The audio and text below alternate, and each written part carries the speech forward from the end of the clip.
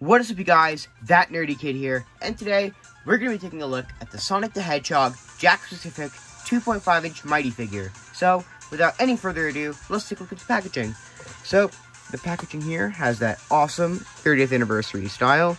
We have the bottom here, we have the Sonic 30th logo here with uh, the name of the character Mighty, Jakks logo, that awesome Sonic render, and then the 30th sticker. And then we have the back of the packaging, which has an image of Mighty, 5 points of articulation, and his bio, which reads, Mighty is a powerful armadillo and a great friend to Knuckles and Ray.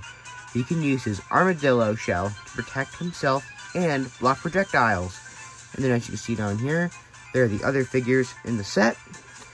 And without any further ado, let's get this guy outside of the packaging and let's take a closer look at him. Alright, so here's Mighty outside of the packaging, and let's take a closer look at him.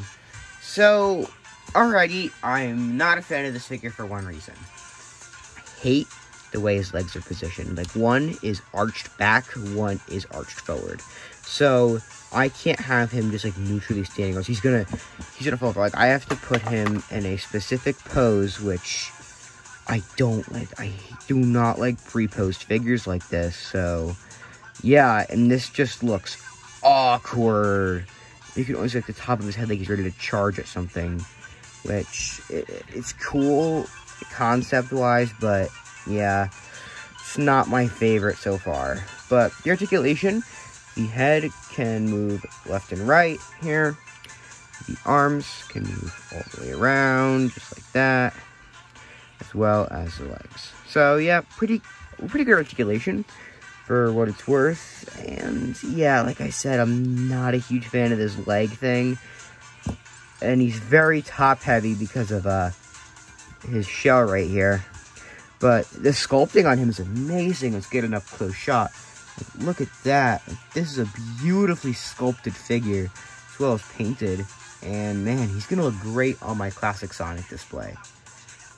So yeah, really cool. Because at the end of the year, I'm planning to do a full Sonic, like, showcase. So I'm going to show off all my Sonic stuff to you guys. But yeah, there's Mighty, which looks awesome. Uh, again, just not a big fan of the leg thing. But other than that, it's a great figure. Sculpting is great. Just like the 4-inch one, but smaller. And yeah, that's it. There's a look at the 2.5-inch Mighty the Armadillo figure from Jakks Pacific.